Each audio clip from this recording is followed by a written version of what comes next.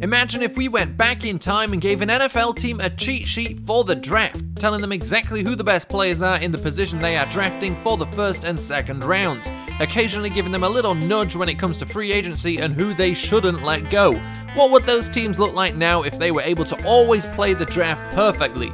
That's what I'm here to try and answer. Here we are, the final episode of this thing. We finish it off with last year's Super Bowl champions, the New England Patriots. And now part of me was like, just why bother doing what if the Patriots drafted perfectly? I mean, have you seen their off-season?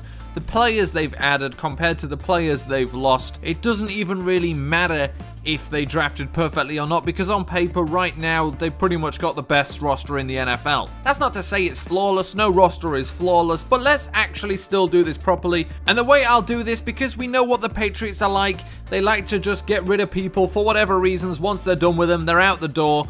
But what we'll do is some of those people I will stick with, some of them I won't basically the same as everybody else really, but a little more liberal with the just sticking to what the Patriots have done. So plenty of people won't be on this team even if there were better picks and stuff. But let's just get into this Patriots team and we start with a draft pick in 2011 with the 17th overall pick the Patriots selected Nate Solder at tackle, and that was the correct pick. The left guard would be Joe Thuney, then David Andrews at centre, Shaq Mason at right guard, and Marcus Cannon, a man we've thrown onto a couple of teams, would be the right tackle. That is the offensive line, and let's move on to the tight ends. And the Patriots have signed themselves a new tight end in free agency, or rather traded themselves a new tight end in free agency. Dwayne Allen, of course, is the guy there. And you cannot, of course, forget Rob Gronkowski. Moving on down to the wide receivers, and we're going to kick it off here with a draft player, but we're not going to put him in the team. In 2013, with the 59th overall pick, the Patriots selected Aaron Dobson. However, they could have had Keenan Allen. There's a couple of players you could have had instead,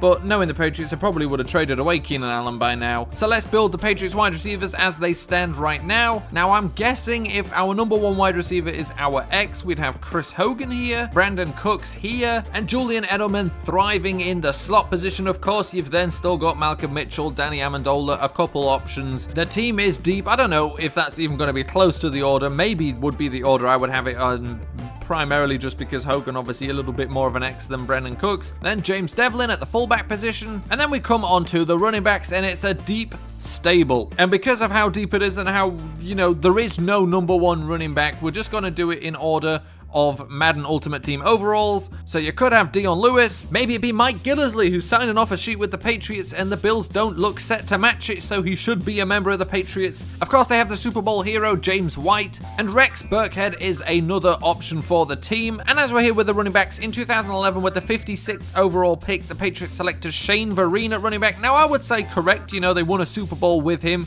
using him specifically as part of their very tailored offense, but DeMarco Murray outright a better running back, of course, a different type of running back, or they could have even taken Dion Lewis. And then we move on to the quarterbacks, and in 2014, with the 62nd overall pick, the Patriots selected Jimmy Garoppolo. Jimmy Garoppolo, the next quarterback taken after Derek Carr, was the correct pick, and they also have this fella called Tom Brady, that's the Patriots offense, and when I say that's the Patriots offense, I mean that's literally the Patriots offense wouldn't really be improved with a perfect draft, except, of course, let's not pretend Keenan Allen wouldn't be able to make this team and wouldn't be a huge improvement over one Aaron Dobson and as, you know, a number one wide receiver, no offense to Chris Hogan, probably an improvement there as well. Can't really compare him to Brandin Cooks though. Let's move on to the defense now. And as we're with the safeties, let's get all of these out the way. In 2012, with the 48th overall pick, the Patriots selected Tavon Wilson at safety. Better pick would have been George Iloka, maybe. Doesn't really matter. Then in 2015, with the 64th overall pick, the Patriots selected Jordan Richards. And pretty much the correct pick there. Nobody better they could have really taken instead. So our actual free safety is Devin McCourty. Patrick Chung is our strong safety. Then on to the linebackers. And again, we've got some stuff to get out of the way here. So in 2013, with the 52nd overall pick, the Patriots selected Jamie Collins and then traded him away for, you know, a compensatory pick to the Browns. That was the correct pick, but he's no longer on the team. Then in 2012, with the 21st overall pick, the Patriots selected Chandler Jones at defensive end, who's since moved to outside linebacker, so we're just naming him here now. That was the correct pick, slash not bad if you think Whitney Mercilus is significantly better than him. And now for the actual linebackers, Rob Ninkovich at left outside linebacker, Shane McClellin at right outside linebacker, and they those are basically just pure guesses. You could obviously have Van Noy, maybe a Landon Roberts goes outside, who knows?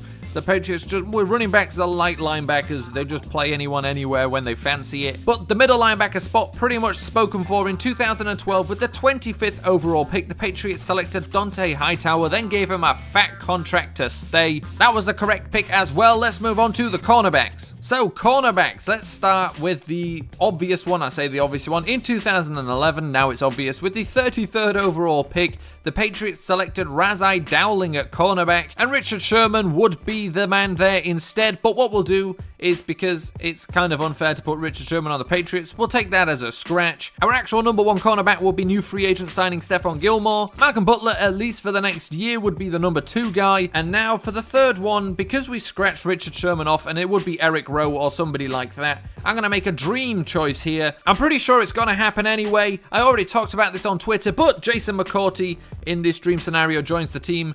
The two McCourtys join together, grow eight feet tall, and become the greatest defensive back ever to play in the NFL. Twin powers unite. But to be honest, I think that's probably just a pretty good guess of what will end up happening anyway. And then finally, the defensive line. Trey Flowers at one defensive end position, Kony Ealy at the other defensive end position, and then let's get through these defensive tackles. In 2014, with the 29th overall pick, the Patriots selected Dominique Easley, and that probably was the correct pick. Maybe Timmy Jernigan would have been a better pick, but he's not on the team anyway. Then in 2015, with the 32nd overall pick, the Patriots selected Malcolm Brown, and that was the correct pick. And alongside him, recently re signed Alan Branch. And that completes the Patriots team here. We make a little bit of a cheat with Jason McCourty, but just swap him for Eric Rowe. See, not much of a difference anyway, and that is it. The linebackers, not suspect, but obviously not a super strength for them. Of course, we know about the offense. Well, what's the question for the Patriots? I think, what, when's it to stop?